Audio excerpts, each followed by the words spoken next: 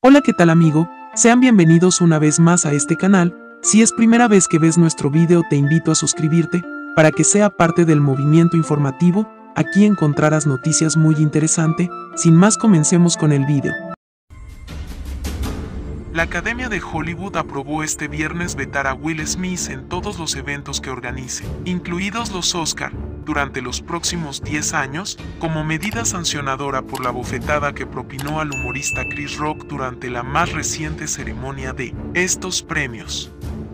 No se permitirá la asistencia del señor Smith, física o virtual, a ninguno de los eventos o programas de la Academia de Hollywood, incluidos pero no exclusivamente, los Oscar, anunciaron en una carta el presidente de la Academia, David Rubin, y su consejera delegada, Dawn Hudson.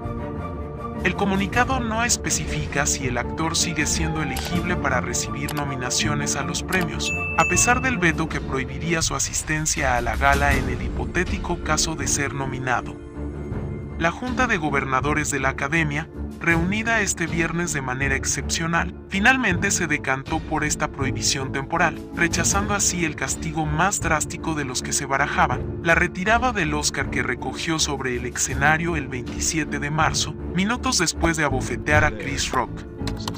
La expulsión permanente de la organización, otra sanción que estaba sobre la mesa, quedó automáticamente descartada cuando el propio Smith renunció a su membresía de la Academia la semana pasada. Durante la emisión, no abordamos adecuadamente la situación en la sala.